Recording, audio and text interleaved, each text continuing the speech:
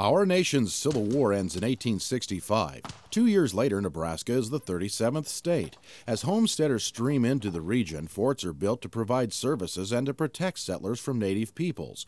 Fort Hartsuff was established in 1874 in the North Loop River Valley. Named after a Civil War general, Fort Hartsuff was one of the more desired stations of assignment.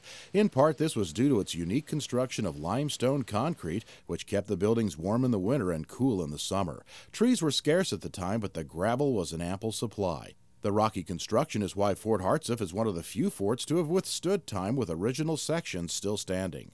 Except for the Battle of the Blowout, in which one Hartsuff soldier was killed, there were few incidents with natives.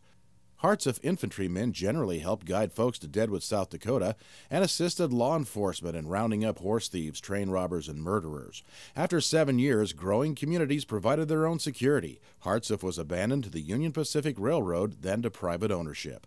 In 1961, a landowner presented the site to the state for development into the historical park of today. Periodic living history reenactments help bring this part of the Plains story back to life.